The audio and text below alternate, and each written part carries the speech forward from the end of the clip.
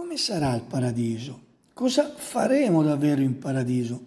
Molte persone ora immaginano eh, come un luogo misterioso, quasi come un sogno, una realtà evanescente sulle nuvole, ma le cose non stanno affatto così. Il paradiso è un luogo e una condizione spirituale di gloria. Ma ciò non toglie il fatto che vi sarà anche la materia e le scritture ce ne parlano attraverso immagini e simboli e ce ne parlano chiaramente quando si parla della risurrezione. Il paradiso, cominciamo col dire che è un luogo di gioia, beatitudine, bellezza indescrivibile, pieno di attività gloriose che riempiranno la nostra anima di letizia, di gioia, di estasi. Avremo, secondo la Bibbia, eh, corpi fisici reali alla risurrezione ed immortali in paradiso. Non saremo spiriti o fantasmi. La Bibbia infatti afferma che la nostra patria è in cielo da dove aspettiamo anche il Salvatore nostro Gesù Cristo, il quale trasformerà il nostro umile corpo rendendolo simile al suo corpo glorioso. Ciò indica che avremo dei corpi come quello di Gesù. E che tipo di corpo aveva Gesù? Alla sua resurrezione disse ai suoi discepoli, guardate le mie mani e i miei piedi, sono proprio io, toccatemi e guardatemi. Uno spirito non ha carne ed ossa come potete vedere che io ho. Gesù quindi dimostra chiaramente di avere un corpo fisico, umano, reale e anche noi avremo lo stesso in paradiso. Nelle parole dell'Apostolo Paolo troviamo anche scritto che la carne e il sangue non possono ereditare il regno di Dio. Quindi si tratterà di un corpo glorioso, spirituale, come Cristo risorto, che sfida le barriere fisiche. La Bibbia ci dice inoltre come Gesù mangiò con i suoi discepoli dopo essere risorto, offrendoci una visione meravigliosa di ciò che ci attende nell'eternità con Dio. Abbiamo dunque compreso che non si tratta solo di un'esperienza spirituale, ma altresì di una esistenza fisica. Mangiare sentire fanno parte del nostro vivere fisico e avremo questo rapporto con Dio e con gli altri. Mangeremo dell'albero della vita in Apocalisse 2 verso 7. Gesù promette a chi vince darò da mangiare dell'albero della vita che è nel paradiso di Dio, ovvero sarà garantita la nostra permanenza e vita in perpetuo. Dio non mancherà di offrire la diversità di bellezza e di piacere ogni mese, ogni stagione porterà una nuova sorpresa, un nuovo sapore da scoprire e questo rivela molto sulla ricchezza, la grandezza di Dio che si prende cura di noi offrendo sempre il meglio e rinnovando del continuo le sue benedizioni. Ciò significa, in altre parole, che nel nuovo cielo e nella nuova terra, nella condizione paradisiaca, non ci saranno più contese, malattie o dolori o qualsiasi tipo di sofferenza come le divisioni, le tristezze, afflizioni di nessun genere e le ferite e le sofferenze che affliggono l'umanità qua giù saranno completamente guarite. Dio ha un piano di restaurazione, di rigenerazione, non solo per gli individui, ma per tutta la creazione intera. Cammineremo per le strade d'oro nella nuova Gerusalemme. Tutto sarà gloria e splendore. Ci avvicineremo a quel fiume di acqua viva, in quel fiume di acqua chiara come cristallo e vedremo quell'albero meraviglioso cibandoci da esso. Tutto ci parla di vita, vera vita, vita in pienezza.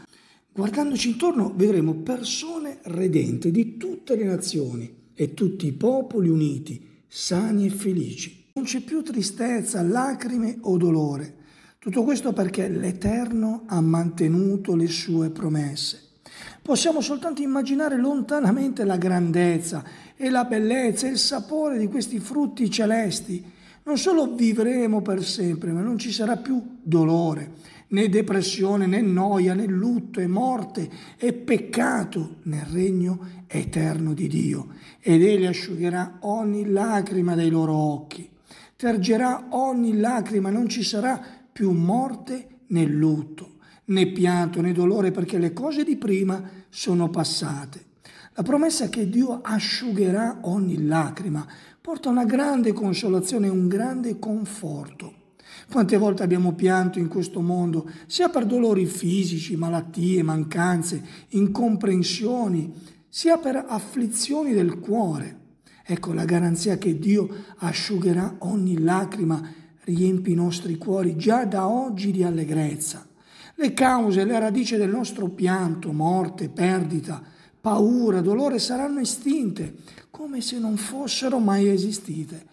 La vecchia situazione di peccato e delle sue conseguenze devastanti daranno spazio a una nuova realtà meravigliosa ed entusiasmante, dove giustizia, pace e gioia saranno piene e ininterrotte. Questo dovrebbe farci riflettere sull'immenso valore della vita che Dio ci offre non solo nel futuro celeste, ma anche qui ed ora. Viviamo infatti nella speranza e ci prepariamo per questo incontro. Ci avvicineremo al cuore di Dio e contempleremo Gesù faccia a faccia. Dimoreremo nella nostra vera casa dove vivremo per sempre nella sua gloriosa presenza. La comunione e la gioia saranno perfette ed eterne e ritroveremo coloro che ci hanno lasciato. Sarà uno dei momenti più emozionanti e gratificanti. Non ci saranno più addì, separazioni dolorose o lacrime di tristezza, solo pura gioia e comunione eterna. Ognuno di noi avrà anche una dimora preparata appositamente per ciascuno di noi dal Dio dell'universo. Nella casa del Padre mio, disse Gesù, vi sono molte dimore se non fosse così ve l'avrei detto. Ecco vado a prepararvi un luogo e quando sarò andato vi accoglierò presso di me, affinché dove sono io siate anche voi. Alla luce ora di questa promessa di Gesù così esplicita e generosa, noi possiamo aspirare ad un futuro in cui vivremo nella pienezza e nella gioia eterna. È evidente che l'amore e la provvidenza di Dio ci farà trovare una casa che sembra essere stata preparata appositamente per noi. Dio dunque ci dà una meravigliosa ed indescrivibile prospettiva di eternità mentre viviamo i nostri giorni sulla terra, affrontando le sfide, le prove e cercando un senso, ecco, alle situazioni che noi viviamo, considerando che Dio ha preparato un luogo per noi in cielo. Questo ci dà una grande speranza e direzione nella nostra vita. Ci ricorda che la nostra vera casa non è qui, e che le nostre lotte e sofferenze avranno una fine. Possiamo camminare dunque in pace verso una realtà più gloriosa e perfetta. Pertanto la promessa di Gesù di preparare un luogo per noi è un invito a vivere con una speranza viva e con gli occhi rivolti all'eternità, ma anche nel cercare una relazione ancora più profonda con il nostro Padre Celeste qui sapendo di essere così amati e che il nostro futuro è garantito ed è nelle sue mani d'amore. Sapere questo, sapere di avere una dimora eterna preparata da Dio, dovrebbe motivarci a vivere in modo riconoscente e lieto, nonostante le problematiche che effettivamente ci sono qua giù, per riflettere questo amore e questa speranza al mondo intorno a noi.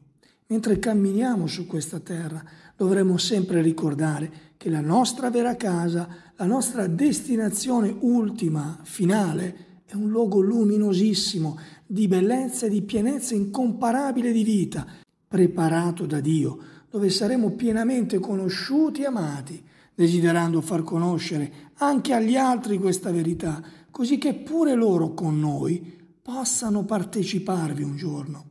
Chi ha Cristo ha la vita eterna che questa benedetta promessa ci riempia di gioia, pace e scopo, guidando i nostri passi ogni giorno lungo il non sempre facile cammino della nostra vita, affinché non ci perdiamo d'animo e non perdiamo la speranza, ma piuttosto rinfrancati da Lui, dalla Sua grazia, consideriamo la meraviglia futura che è stata preparata per ciascuno di noi.